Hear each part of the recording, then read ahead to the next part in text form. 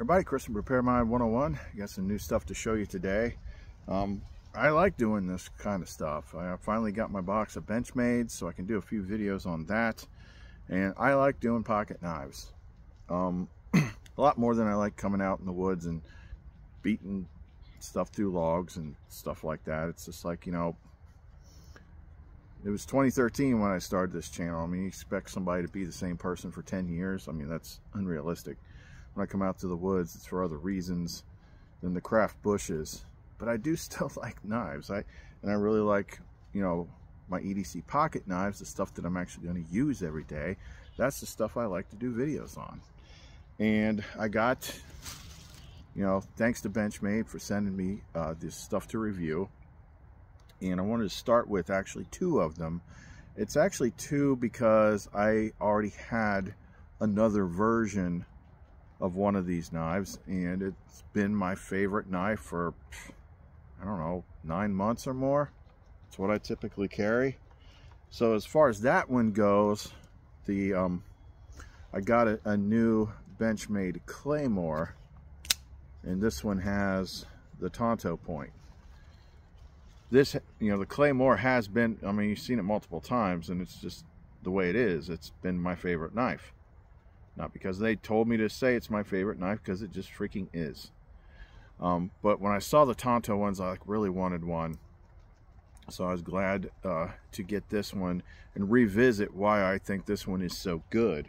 But the other one that I got is a newer one. And I was really interested in trying this one out. And this one is the Benchmade Shootout. And this is one of their out the front ones and it is CPM Cruwear steel. So we're going to be uh, talking about this one as well. So if you want to know my thoughts on these, and there are some differences to consider when it comes to these, we're going to talk about. Um, don't go away.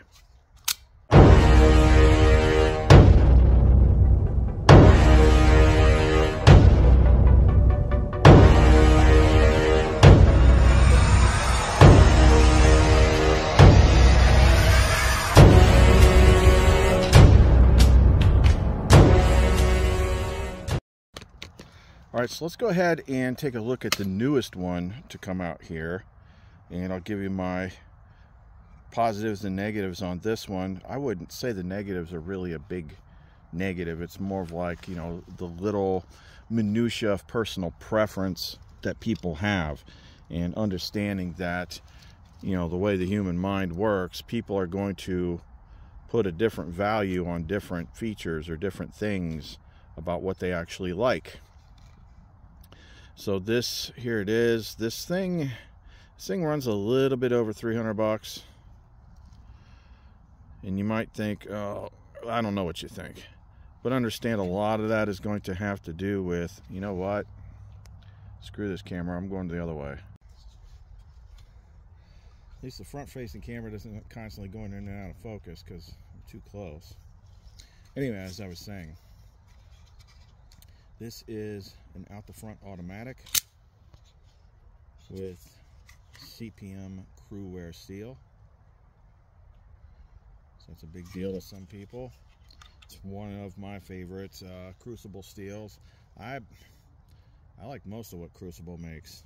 I like CPM 3V for the big stuff. I've like uh, like Cruwear is great for edge retention, and then I'm one of the few people that openly like CPM D2. Um, I, I don't remember who I had the conversation with a long time ago, but they said, you know what, if they would have just called it something else. Because, again, how the human mind works with the connections and neural pathways and stuff like that, you hear D2 and you think of that old D2 that nobody liked, and it's not the same as CPM D2. But we'll get to that. So I can say, as far as the action goes on this one, it is very snappy.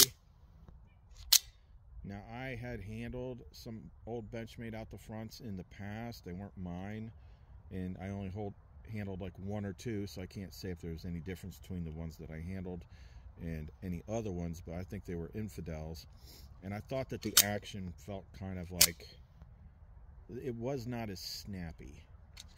This is more snappy in the way that I'm used to back when I had the Microtechs like the UltraTechs. Although the UltraTechs, it was like, it seemed to be a little bit different from each one. But yeah, this one, the, the, the action on this is really good, really snappy. Now this one, here's where it's going to get down into personal preference. And it's one of those things that I feel as though it's almost a knife store purchase. Meaning like you might not like something looking at it on a picture, but you might pick it up in your hand and feel differently. So what this thing has going for it is it's lightweight. It's lightweight. Um, it's got the whatever the material is. I'll put it on the screen. Um, polymer material handle. It's it's for the most part pretty smooth. You got some grippy portions up here. But as far as like the minuscule criticisms that I have, um, I think I might like this just a tiny bit better if it was black, but at the same time, it's like, oh, at least I'll see this one. And it really comes down to the material. So like if, if I, I don't know how much you can tell, it's almost imperceivable. But I feel like on this one and, you know, other, say, Benchmade Griptilians I've had in the past, uh, the material has a bit more shine, a bit more gloss to it than this one does. I feel like that would make it just look a little bit nicer. I mean, this is like their first batch or whatever. But, um, I don't know. I, I feel like with the colors, the color seems like uh, just slightly more dull.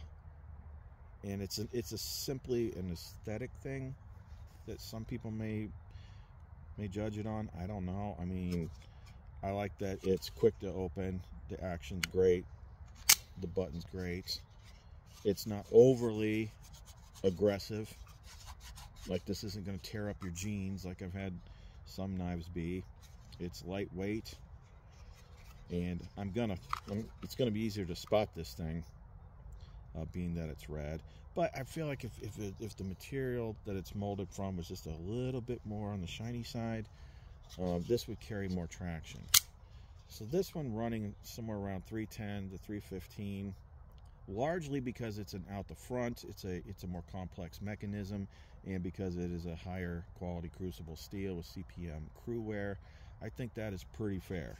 Now, if I got this and the, the action was crap or something like that, that would that would take away from it. But I haven't put any kind of lubricant in here whatsoever.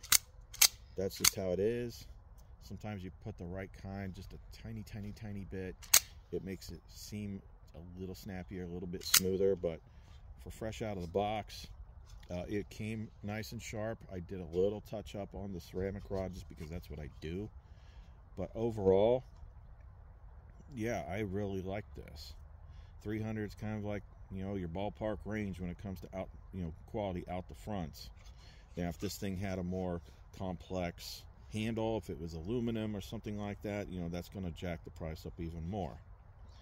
But that overall, I really do like this one. Even though the, the color, I'm, you know, I'm pretty basic when it comes to colors and knives. Like, I don't like flashy stuff. But I do appreciate being able to see them. I don't know how many times I got all these black EDC items and it's like, where the hell did I just set that down? Five seconds ago. I can't find it. Where is it? So, I mean, that that's nice. It's not too big. It's not too small. It's just right. Now, let's compare it to my newest Claymore. So the Claymore is a button auto, flips out the side. Very strong. It's got the lock. Not only keep it open, but it'll also keep it from firing. I have said many times in many videos that I love the handle on this. It is perfect shape. It is the perfect size. Um, the material does not feel cheapish at all.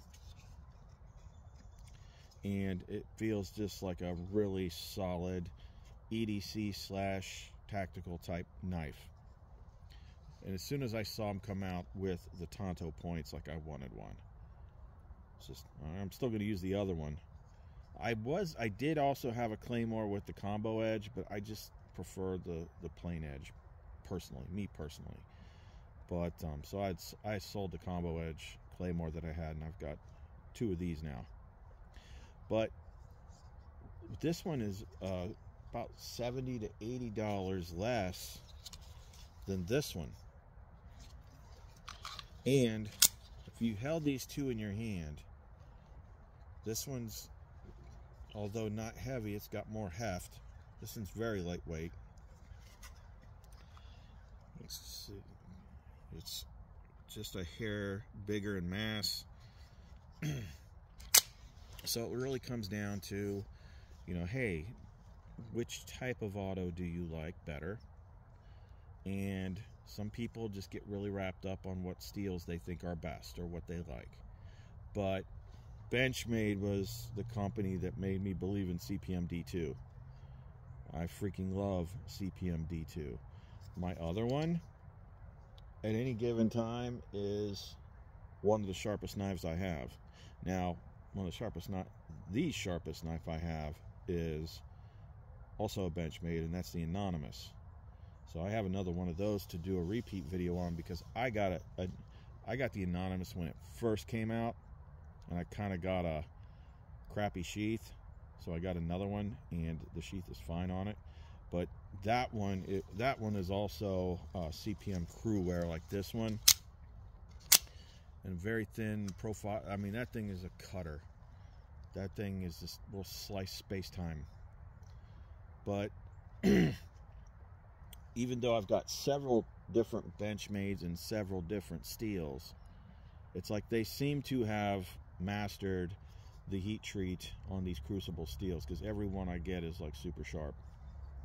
And I would say if they weren't, believe me. Uh, but the, something about the CPM D2, if you're handy with a ceramic rod, and I'm not talking about setting up some contraption on your desk or something, I'm just talking about a regular hold it in your hand ceramic rod these things like I don't think I've I've never used a work sharp on a Benchmade CPM D2 knife. There's no need for it. But I can make them so freaking crazy razor sharp. It's not even funny. And it does hold the edge for quite a bit. I mean, I don't notice some of this ridiculous testing that we do on knives. Like, oh, I'm going to cut sisal rope 700 times and see if it's good or not. Who does that? Honestly you open boxes from Amazon. You know, don't don't play. I know what you do. You know, you cut your fingernails with it. You play with it, and you can you can take five freaking seconds on a ceramic rod, and it's razor sharp again. But yeah, this definitely got some you know point to it. This will definitely puncture a tire or something of that sort. So this one runs around 230, and I still think it's one of the unless you're really hung up on it being out the front it's still one of the best autos for the price in my opinion. And I have that opinion because I've been carrying one of these things in my pocket for a better part of a year. It's always super snappy. Lock always works. I mean I've got zero complaints about the Claymore. Freaking love the Claymore. This one being new if I want to use something lightweight, if I want to play with the out the front, because I, I don't have any out the fronts anymore until this one. I used to have a bunch of them. But, uh, yeah, I probably will because I'm scientific like that. Put the tiny, tiny, tiny, tiny, tiny, tiny bit of something in there. It just, um, it's, it's something I got in the habit with, you know, playing with the Microtechs. It's just like I'm listening to these tiny reverberations of sound, like when it snaps in, it snaps out, and just the tiniest bit of lube, like just makes it perfect. But action-wise, snappiness-wise, works great. So either one of these are great. It just comes down to you. It comes down to you. It comes down to what you like, what your opinion is what your favorite things are, what your values are, what you need. Like I, I know there's this weird thing in in YouTube that like everybody thinks like the talking picture machine is speaking to me directly and it's telling me that I must go purchase something. No, we it's really not how it is. I'm showing you something in case you happen to go look at it and you want another perspective of someone that actually has it and you want some details you want to see it moving and give you some that you know it's up to you i'm not telling you to go buy anything so but if you like these then definitely you know if you like them well i like them too. So I just wanted to show those uh, to you. So there you go folks. That is the the benchmade claymore tanto point and the benchmade shootout. So I'll have links to these in the description box below if it's within your budget, if it's with something that you actually like and want, or maybe you want to give it for a gift for this Christmas. I don't know, but they are pretty freaking nice. So I'll have links to those down below in the description box. And other than that, I do have several more to do here soon. So there's that. And I also have to get another video done on that uh, power station. If you didn't see that video, go ahead and click on that and uh, check that out because that is like the most amazing freaking power station I've ever had in my life. thing is awesome. Other than that, uh, Chris from Prepared Mind 101. See you next time.